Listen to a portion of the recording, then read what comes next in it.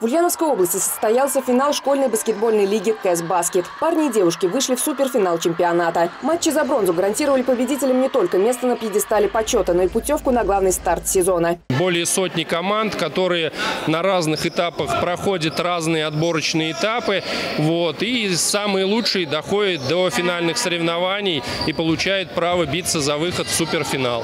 В этом матче среди команд юношей сражались сборные из Казани и Саранска. Несмотря на то, что двое парней из Татарстана Татарстана получили травмы и не вышли на паркет. Их партнеры сыграли и за них, и за себя. В итоге они победили со счетом 86-59. Девушки в этой игре произвели фурор. Они устроили самый громкий и зрелищный финал чемпионата Приволжского федерального округа. За золото боролись наши спортсменки из Освиярского района. Местные болельщики поддерживали землячек, однако несколько трехочковых вывели вперед соперниц из Йошкар-Олы. Итоговый счет 60-74.